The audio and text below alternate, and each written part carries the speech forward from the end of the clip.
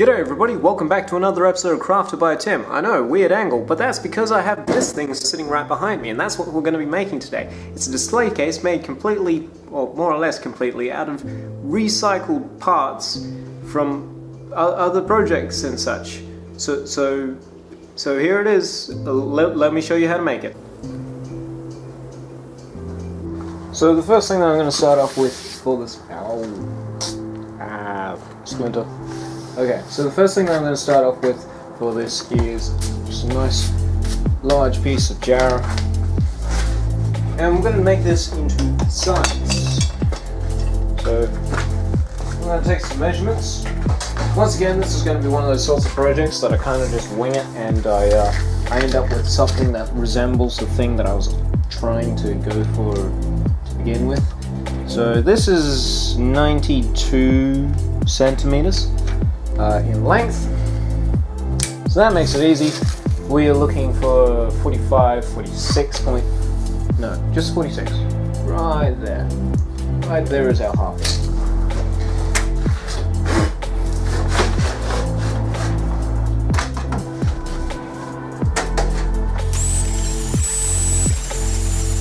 Alright, so from here what we need to do is we need to start mapping out the general design of our box. Go up 6 centimeters on the side there. So now I have to figure out a way of cutting this down. There's a few different ways I can do it, but because I don't have a sled for my um, for the table saw, I'm probably going to opt for doing this on the bandsaw.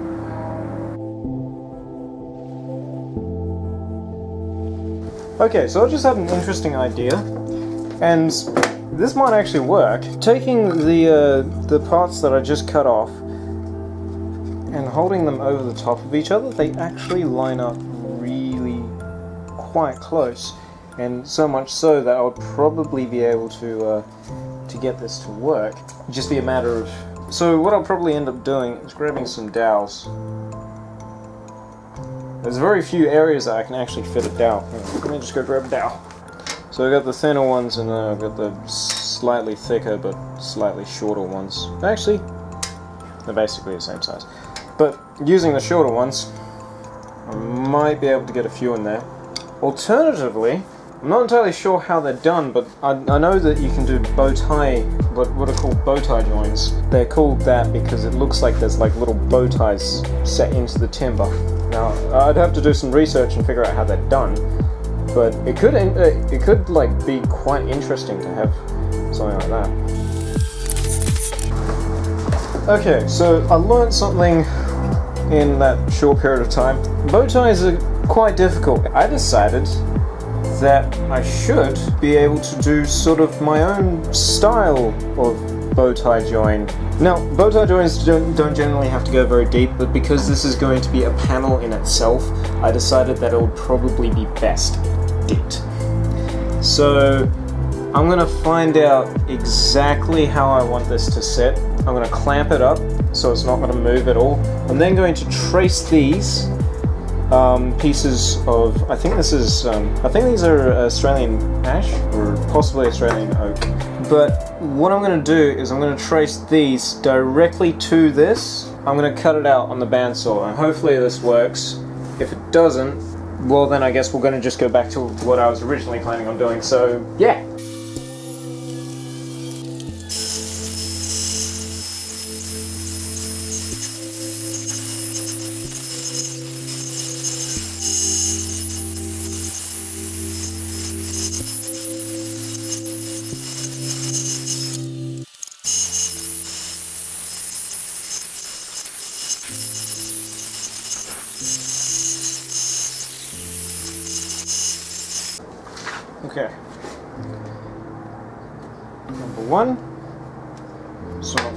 Number two fits really nicely. Still a little bit of flex, but it's much, much better. Pretty well jam that one in there.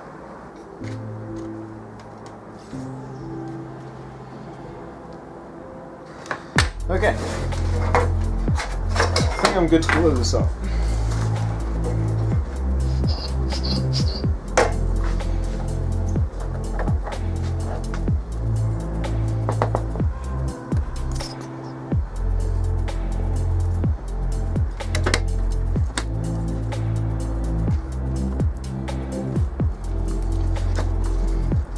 We we got some windows for the caravan. Um, they're made out of plexiglass. These are the old windows, or offcuts, or seconds, or whatever, whatever you want to call them. Uh, and they're actually double layered. So on the outside here you have a tinted side, and then on the inside there's a clear side. So my plan is is to rip these down. I want to make this uh, to the biggest size that I need, and then just cut it down from there but hopefully this should make it a little bit easier. So be warned that when doing this, it's going to smell really, really bad, so also wear eye protection.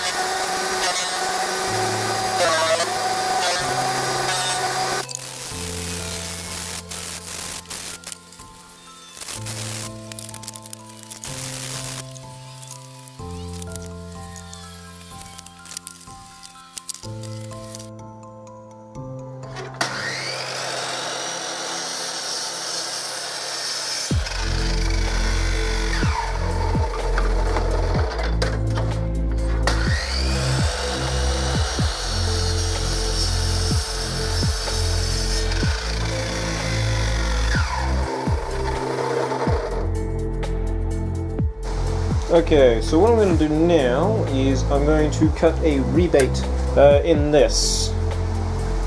So what I have to do is I got to set my saw blade to the right height, which I believe it's already at. When closed, that can sit nice and flat uh, in my outside two pieces. And that way the only exposed area is going to be the hinge and because that's going to be facing to a wall or if you're a shop owner or anything like that that's going to be facing you. So it shouldn't really matter too much you're not actually going to be able to see it.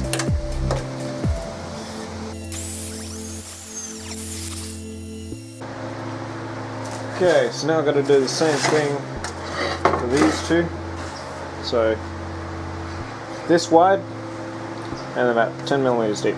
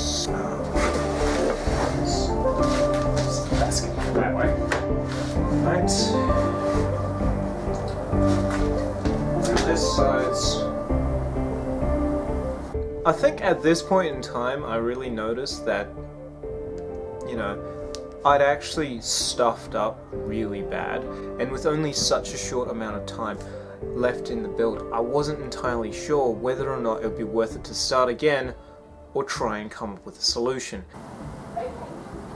Crap. What Tim's done is he's accidentally cut the same side of both pieces of material, so the box doesn't actually fit together anymore. What I ended up doing was I ended up settling for cutting off about 20 millimeters off the end and then just doing the exact same thing that I was planning to do, but my box was going to be 20 millimeters shorter.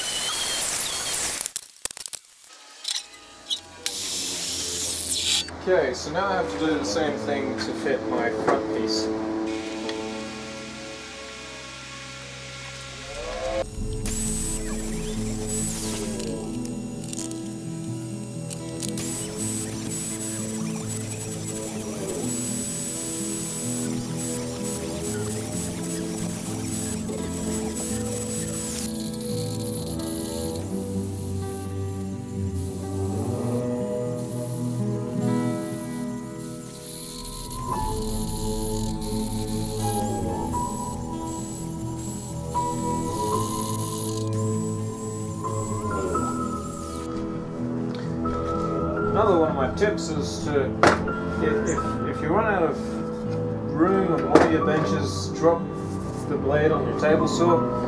There you go, new blade,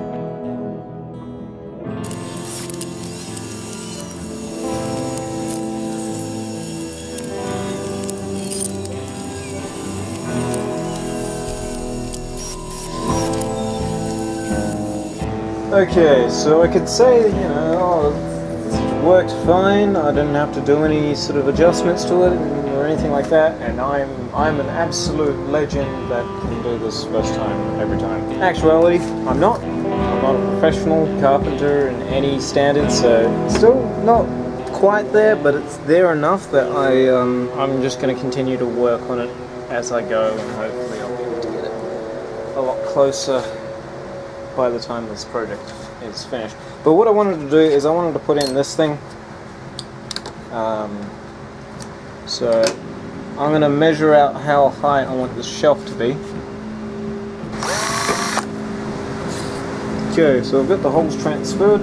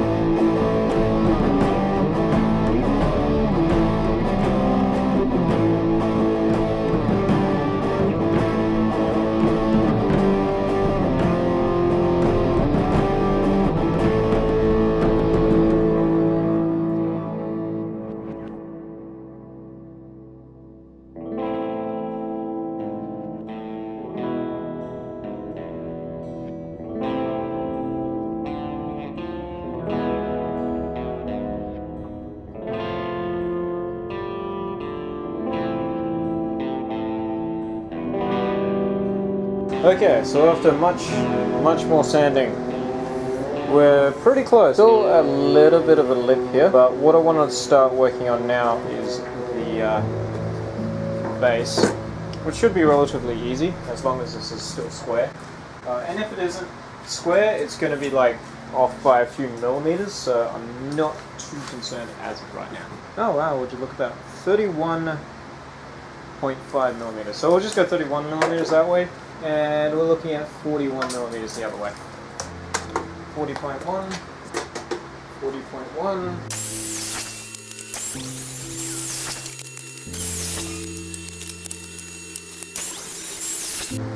Okay, so I want to add some extra support to the bottom because right now I've only got about 5 mil to, um, to glue to.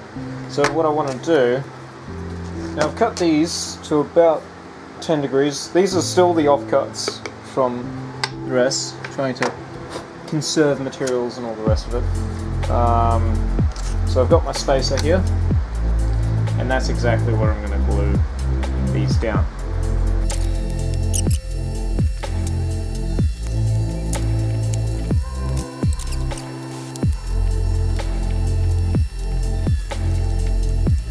This is a big old heavy of, I believe it's Jarrah, but I'm not entirely sure.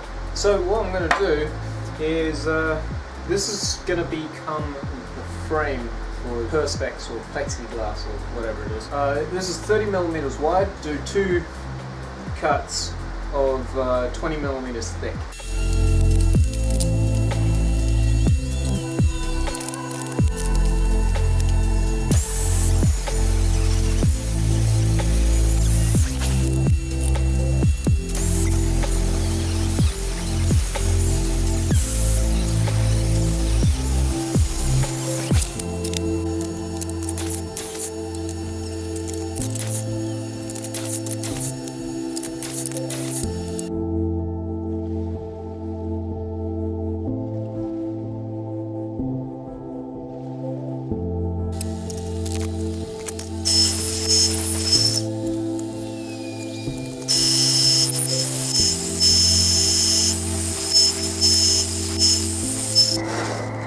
End just sits straight into there. It'll just go to just like that. So that's probably like the easiest join ever. um, because you only have to actually have to do work to one side.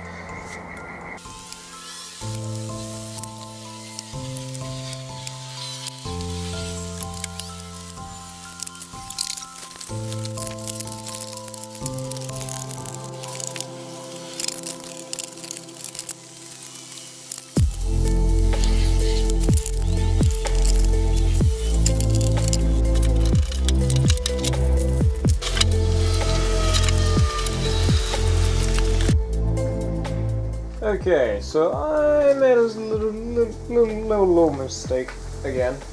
The frame was too big for the box. So to fix this, well, here's what I did.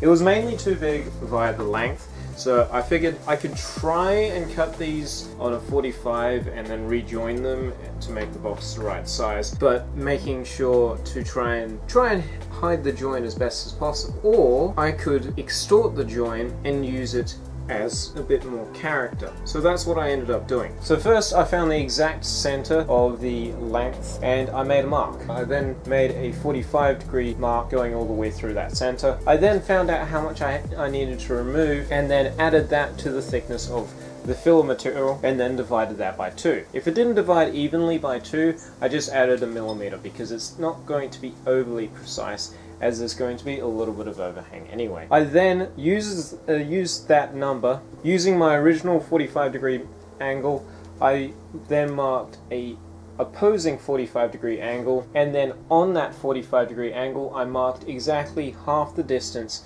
that I needed to take away plus my filler material. I then cut it down on the drop saw on a 45, cut my sheoak to size and then just glued it back together.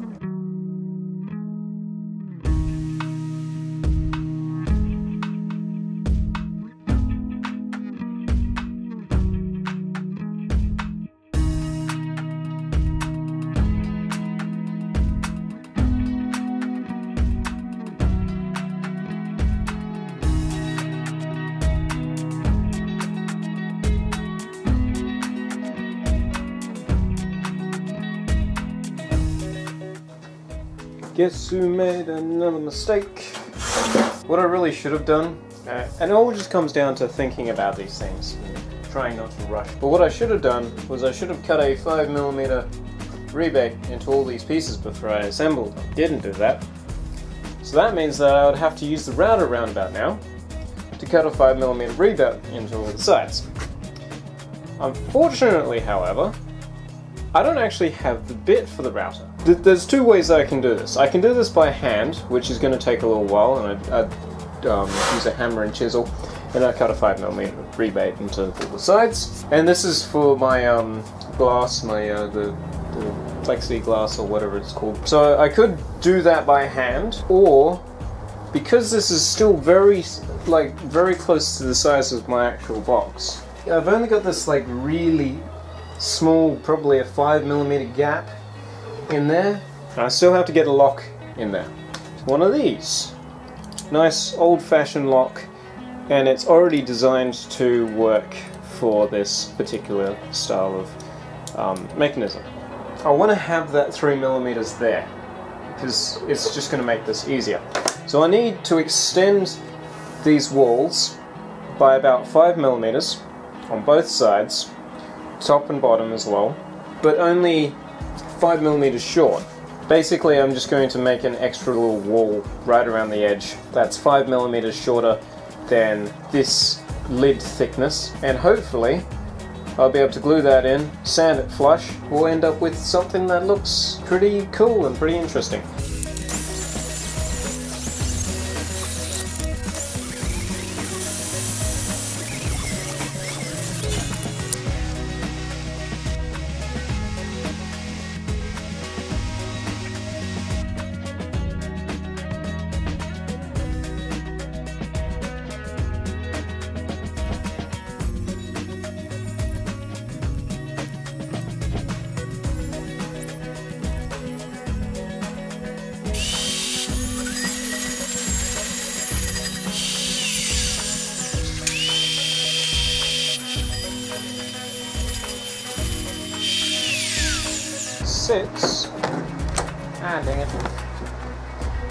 Was gonna say it sits perfectly inside, but apparently now it doesn't want to. There we go. Sits nicely inside. I'm going to use a scalpel, scalpel and a few hammers, I mean a, a hammer and a few chisels to carve out a spot for this little lock. So I've got my center mark here. I just have to figure out how far down it goes.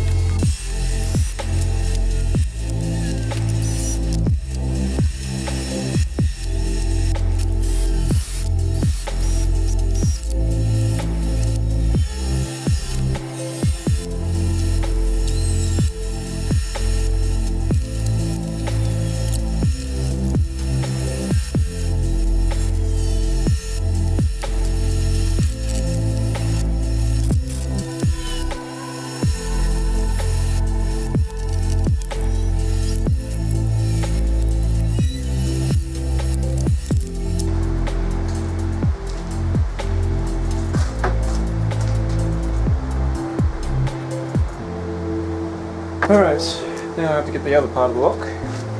Find out exactly where it's going to sit. Actually, what I'll do is I'll grab a key. I'll lock the top half of the lock in here. It's in there. It does still move around. Close this. Press down just gently. Do I have two marks? Yes, I do. Haha. Okay, so I've got my right side marked, but that doesn't mean it goes like that. No, it means it goes like so. That's right facing upwards. So when I flip it over, it's now on the left side.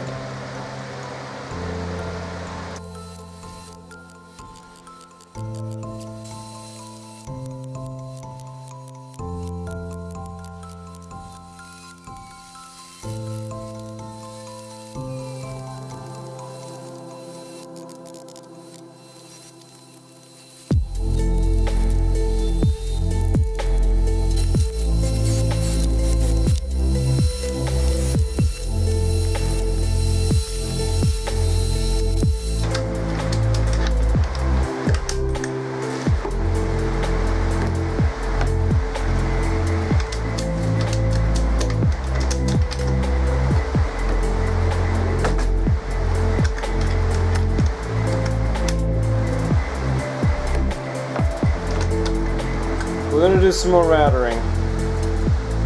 I don't like routering. It's scary.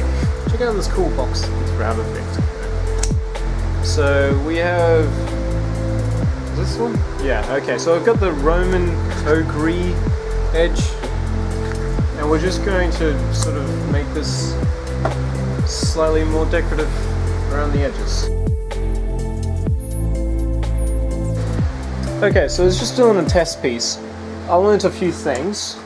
There was a little bit of chipping on this side, but it looks like I ended up taking it out the second pass. Don't have very much burning at all, which is awesome. You just have to take it really slow, real careful. So the chipping, that was because I was changing direction of grain without the cutter.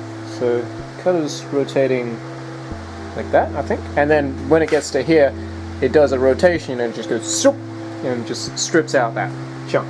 Here you can see the exact same thing's going to happen if I'm coming down this way. I have to start somewhere in the middle of this one and I'll just come straight back, take off the corner, and then I'll come back along the slide. So my intention is to probably start, because I have one of those joins at every corner, start somewhere in the middle, somewhere off to this side, go right along, then turn this 90 degrees, and they go right along again. The other thing that I, uh, that I was told to do is because this has a guard most of the way around, I can use my hand to help stabilize it. So running it right along there.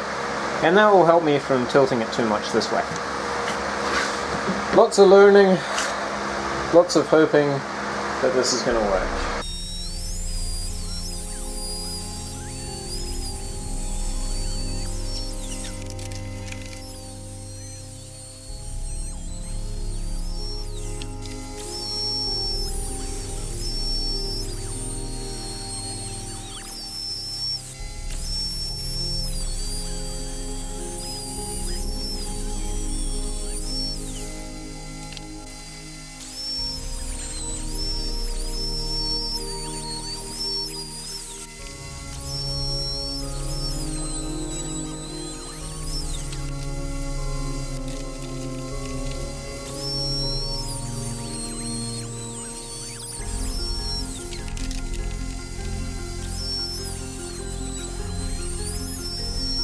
So that actually worked out really nice. Aside from a few spots, there's a little bit of a raise and a little bit of a few high spots, a few low spots.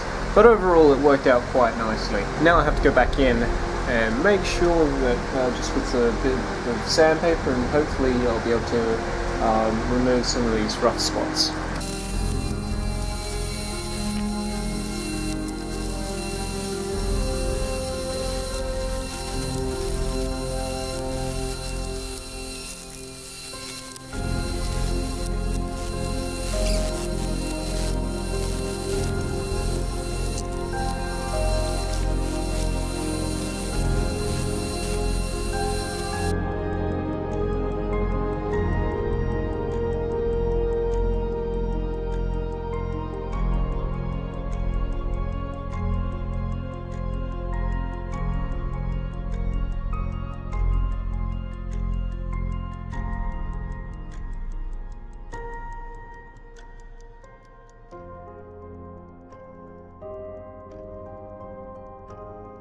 So this is the stuff that I'm going to be using for the central shelf. Now I am going to leave it removable, that way I have a, uh, a larger compartment if I need be, if it needs, if it, if it needs the larger compartment.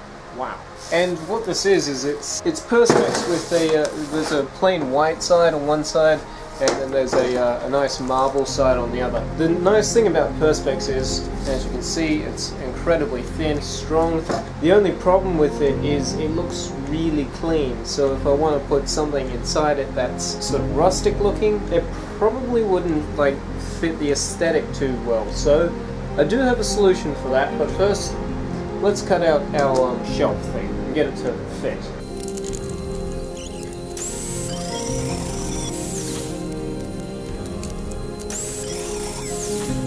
It fits in there quite nicely, uh, nice and snug, not a problem.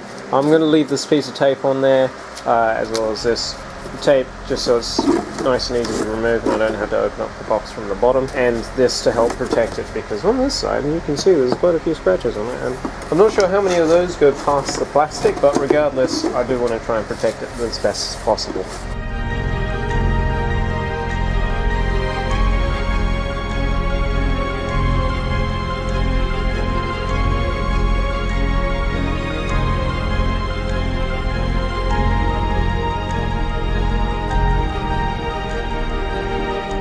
So now we're basically done. We're just going to do the final glue up. Whilst this is drying, I'm going to give it about 24 hours to dry. I'm going to be just basically going over everything else. So we've completely disassembled the box.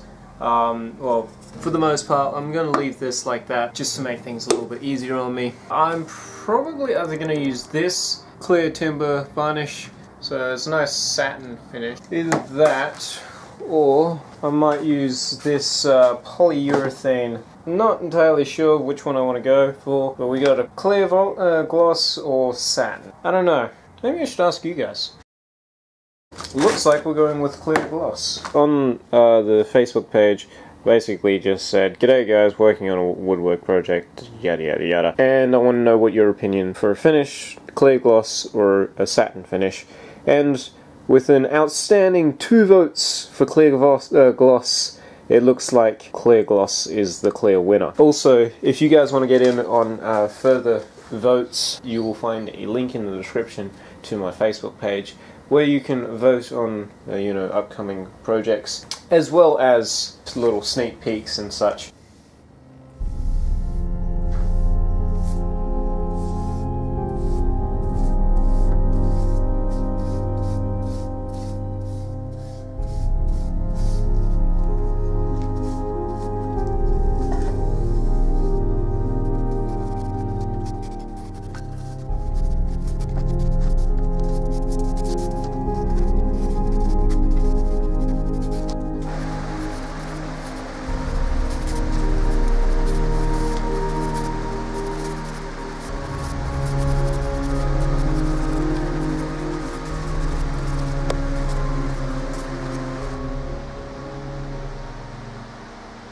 As of right now, we have a, uh, a pretty nice satin finish on it, but it's not the gloss, high gloss finish that we're after. And the way that we're going to achieve this is, I've got most of the sides covered, I just have to do the underside. What I'm going to do is I'm going to let it, uh, let it dry for about 20 to 30 minutes. I will then flip it over, do the underside, do the underside of the, um, of the frame, and then after that I can go on to letting it dry for a full three to four hours, and then I'll use some 240 grit sandpaper. We're going to use some 240 grit. We're going to um, sand over the entire thing. Then what I'll do is I'll apply a second coat uh, and I might see about doing a third coat as well.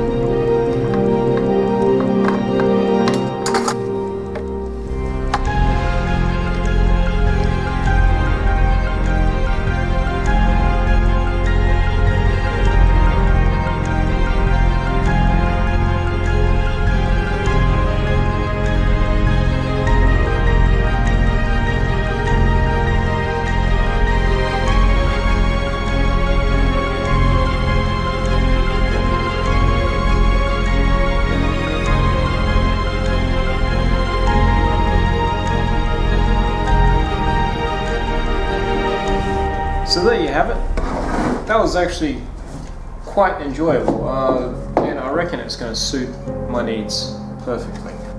I'm really sorry about the uh, length of this video. Uh, it, it, did take a lot longer than what I expected, and just looking at the footage now, it's a pretty pretty lengthy video. um, anyway, I hope you guys enjoyed it. Uh, it was a lot of fun to do. So remember to stay safe, happy crafting, and as always, cheers.